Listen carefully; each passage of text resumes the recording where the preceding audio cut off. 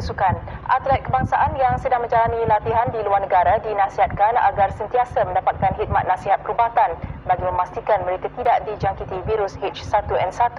Ketika ini, ramai atlet kebangsaan menjalani latihan di luar negara, antaranya atlet-atlet berbasikal yang sedang berlatih di Australia.